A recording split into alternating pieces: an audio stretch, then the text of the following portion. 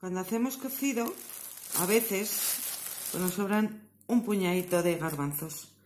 ¿Qué hacemos con estos? Pues nada, como es un puñadito, pues no vale para nada, lo tiramos. Bueno, yo lo que hago es que cojo en una bolsa de congelación o cualquier otra bolsa, estos como veis están blanquitos porque están congelados.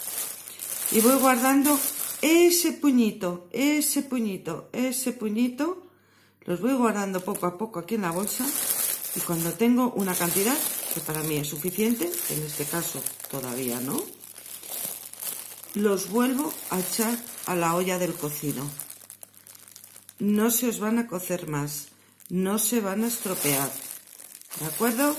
Entonces, eh, podéis hacer unos garbanzos con callos, eh, un humus, lo que os apetezca, pero no os tiréis.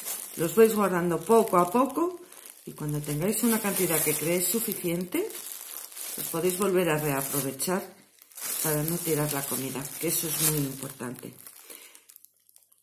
Hoy nada más. Si os ha gustado, os podéis suscribir a mi canal, darme un like, también podéis ver mi blog. Hasta luego.